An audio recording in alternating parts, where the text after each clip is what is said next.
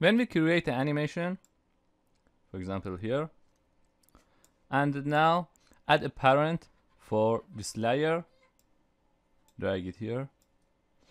Okay now you can see the parent of layer 2 will be layer 1 when we change position it changes layer 2 but sometimes we need effect on child layer.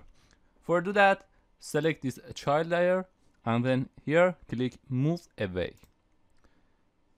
now here as you can see we have a slider effect move away from parent. Now here you can see we can change this slider. And we can affect on this child layer.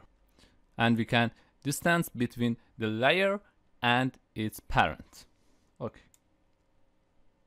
Or you can add a keyframe for that for example from here.